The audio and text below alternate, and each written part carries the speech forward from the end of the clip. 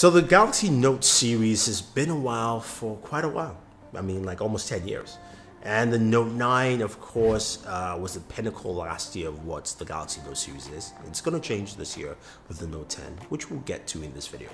But the Note 9 is an interesting device. Design wise, it's got that rectangular look, which is very Note um, specific. But I like the feel of the device. It's got features that even the, some of the S line, the S line this year doesn't have, you know. But I think a lot of users will, will understand that the Galaxy Note series has taken us from from the uh, the small thinking of small displays to a much larger worldview. I remember the very first Galaxy Note. I was there at that, event. Uh, it wasn't even an event. It was basically a pre-briefing, uh, and was exclusive to AT&T. And people said, I remember big publication said, look, it's stupid. We don't need big displays. The pen sucks. So many things. But look at where we are today. The Galaxy Note line is one of the best-selling um, smartphone lines in the world. Um, and Note users love this thing to death. I mean, my buddy Sam is a big Note user and he will not use anything else. He may try, but the Galaxy Note is his thing. Now I do have the Casey Neistat version of the Galaxy Note 9. Samsung, please, I want this every year. It's a great way to give back. We love the see-through look, and I think a lot of fans will definitely want to give back and enjoy a brand new device. But the Note series itself, the way it's changed over the years, the way the S Pen has improved is remarkable. Remarkable. Now, last year we got to check out the Galaxy Note and use it on our trip uh, to my uh, to Miami, and we shot most of it, about 95%, with the Galaxy Note 9. And I've got to say though that it, I mean, the camera was just really good as, at its time last year, and I think it's still really solid. It's still uh, still a top tier camera uh, today. Uh, but you know, using just that simple remote functionality of taking selfies using the, uh, the S Pen, I think is really solid. Pause. Having that functionality built in, and uh, you know, uh, just just making it easy for you to capture moments without looking for somebody else to take your photo, right? You know, that's that's always nice. Now, the device itself, uh, 6.4 inch display, lovely display, still one of the best displays today. Samsung does a great job at that. You've got the Snapdragon 845 processor, great performance on that thing. I mean, gaming on it is really good, uh, as you can expect, uh, and it ran really, really well. I just, I just like that about it. 8 gigs of RAM, um, 512 gigabytes of storage, a 4000 milliamp battery. Now, you've got USB Type C to charge. You can also do fast charging, uh, which is 18 watts. Uh, still nice, but not as fast as a lot of devices out there today. And wireless charging as well, which is also slightly slower, but again, packed with the features you want, IP67 rating, those kind of things that you would expect. Now, one of the things that it does have that a recent Galaxy S devices don't have is the iris scanner. I like that. Uh, being able to unlock my device by just looking at it. Yes, it's a little slow.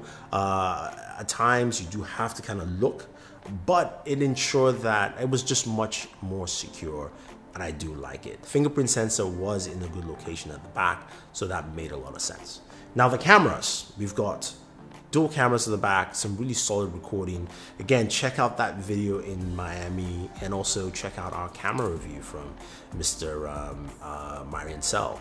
Uh, I think you like what the Galaxy Note brings to the table. Uh, even if you're looking at a device now, especially at a cheaper price point, and you don't want to S Pen, say, on the Galaxy Note 10 because it's just more expensive. Uh, the Note 9 brings a lot of those features, but again, for me, the spend is one of those features that really hits the mark. The ability to translate with the S Pen while you're looking at text is nice. It's just a simple feature. Now, some people may not like it. Some people may think it's not necessary. But if you're reading text and you, you know this text in a different language, you don't have to type or search. You can just put on the S Pen, and you're good. That is pretty cool. You know, those kind of abilities built into this, including the remote functionality using the camera, is great. Now, I would love to see what they do with this with the uh, Note 10. Of course, it improve the writing ability, which is still key the ability to put your penmanship down, uh, but also I'm sure they'll add some new features as well. Now we have a headphone jack, which is great because the Note 10 looks like from all indications is not going to get a headphone jack. So audio for me is really big and I can use my headphones and that's great plus a 32-bit DAC which is solid. It's not as great as LG's but no one else is better. And I think Samsung comes in as a good second uh, with that. Uh, overall it feels good to hold this device. It's solid it's, it, it gives you good functionality and I think it works out pretty well. Even that fingerprint sensor I think is better in terms of speed than the Galaxy S10 Plus. It just works uh, that's something hopefully the Note 10 will improve.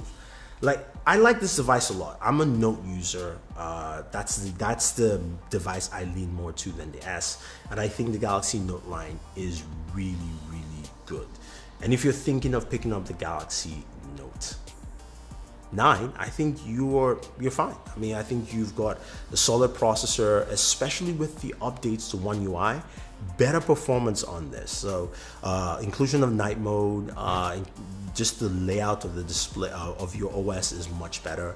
Uh, optimization is better. Now the Note 9 I think handled battery optimization really well. Uh, with One UI I think it's much better uh, overall. And I think you see that performance really tapping into that 4000 mAh battery. To me it's better than my Galaxy S10 Plus. S10 Plus is good. The Note 9 I think is just better than that. So that's just something to take note. Um, you know, the front-facing camera on this is the only part I, am not too fond of. I like what they've done with the S10, and of course we'll see that with the Note Note 10. But the Note 9 front-facing camera is okay, in my mind. That's how I'll put it. Where do we move forward from here? Now we're going to the Galaxy Note 10. We've seen the history of the Note 9, uh, the Note series, and moving up to the Note 9, which we have right here. But the Note 10 brings a whole different scope. We've got a device that is supposed to have a 6.7 inch display for the Note 10 Pro because that's, that's, that's the beefy right? This is Note 10, but the Pro is the beefy one. Uh, we've got 12 gigs of RAM max. We've got a 4500 milliamp battery, which now we're hearing will have at least a 25 watt charger, so it's much faster in charging. Should have a faster wireless charger and a faster reverse wireless charger. Remember, that's new on this device uh, to expect. But looking at that 6.7 inch display, thinner bezels. I mean, it looks ridiculously thin as you look at it right there. Something that you will not find on any other Note device. Centralized front-facing camera, which should be 10 megapixels, but we're hearing some really cool stuff with the camera.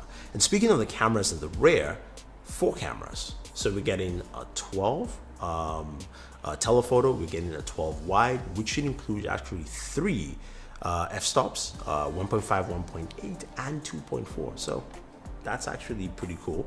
Hopefully that actually happens. And uh, of course, an ultra wide of 60 megapixels, which is the widest anyone has in the market. I think Samsung does a good job there. Um, but also a time of flight sensor. So similar to the A80, we can do bokeh photos better and bokeh video as well. Now the fingerprint sensor is moved to under the display, similar to the S10 Plus, hopefully it is just much more responsive. It's, it's been a mixed bag. I would say it's bad, it's been a mixed bag. Uh, for, some, for me, sometimes it works really well, sometimes not so much. Depends on the update. Now, I hope this version of the Pro, uh, Note 10 Pro or Plus comes with 5G, so we don't have to actually have a separate 5G model of this device. But with the S Pen, I don't know what we're gonna get. Uh, I think we'll get all the features we had last year. I don't know what's new. I think that we improve the writing ability, so it's just much cleaner and better. Uh, but there's a lot to, to surmise there. Uh, I, I'm just excited to hear what are the interesting packages that are packed into the Note 10 because I think a lot of people would appreciate that. Now, it's going to come with the Snapdragon 855 Plus processor, same processor in the ROG Phone 2, which means we should get some really great gaming performance. And we'll give you a video on that because, of course, that's what we like to do here. Uh, we'll also give you a video on that faster reverse wireless charging. Is it worth it now to charge a phone? Not just a smartwatch or your, your earbuds, but a phone. Speaking of audio, no headphone jack. From all the renders we've seen, there's none. So that means that, you know what, we've got to use wireless earbuds and they've improved. I, I like that they've improved in terms of audio. Check out our video on the best $100 um, wireless earbud. There's options, which for me as a, a love of audio is great to see, but I'm still gonna miss that headphone jack and I'm gonna complain about it. Sorry guys, I just have to. But I think, you know, we're in an interesting space the Note series has come a long way. and and a lot of users have seen its growth. Uh, from some gimmicky features to features that actually working great, things like you know. Uh, what do you call it again? live text, uh, which didn't pick on, uh, but things like translate, which is really cool, uh, to just the remote camera feature, which is just basic and solid, right? So we just have to wait and see. But I can't wait to see what the Note 10 brings. And if you're asking me, should I pick up a Note 10 instead of a Note 9? I think it's all up on you. If you're looking at budget wise and saying, I like the Note series, I don't want to spend a lot of money, it's a great time to pick up a Note 9.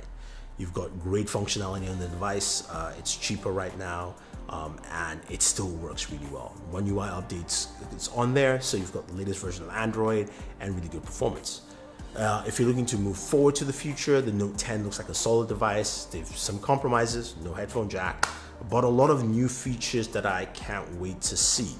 Now, rumors also says the Samsung is going to be doing a, uh, uh, promotion. So if you're trading in like a, your old Note 9 or an iPhone 10 Plus, uh, 10s, or, uh, or um, what do you call it again, a Pixel, you're going to be getting $600 off. So your devices will cost almost half its cost, which is not a bad idea.